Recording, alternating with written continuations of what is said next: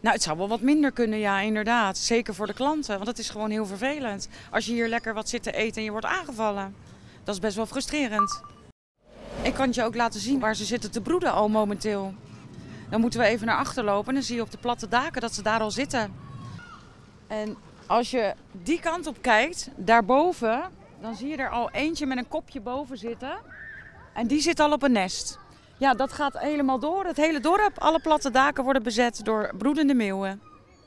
En is dat erg? Nou ja, de eitjes komen ook allemaal uit, dus er komen steeds meer meeuwen bij. Dus het is best wel een dingetje, ja, denk ik. Ja, de, de overlast is het grootst eigenlijk op twee momenten. Als er babymeeltjes in het spel zijn, als er spel zijn, om het zo maar te zeggen. Eh, en in de zomer, hè, als veel mensen buiten zitten te eten. We hadden vorige week eh, hadden wij een stel, die waren hier lekker buiten aan het eh, eten.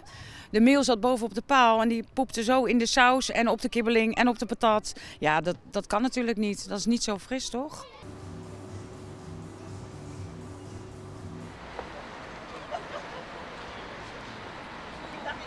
Nou, we willen aantonen dat het aantal meeuwen in Katwijk eh, fors is toegenomen. Dat is ook overigens zo eh, de afgelopen jaren. En als we dat kunnen aantonen, dan kunnen we maatregelen treffen. Zoals bijvoorbeeld het eh, onderdompelen van de eieren in olie. waardoor ze niet uitkomen. En dat voorkomt dat de meeuwpopulatie nog verder zal groeien. Op nog meer plekken in de gemeente. En daarmee ook nog meer overlast zal veroorzaken. Zoals bijvoorbeeld het, ja, het pikken van eten van mensen. Hij heeft hem wel gezien hoor. Maar weet niet of het lukt dat hij hem eh, wil hebben. Wordt er geen uitjes bij?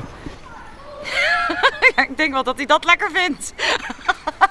Oeh, ja, dat was hem bijna hè. We gaan weer even teruglopen.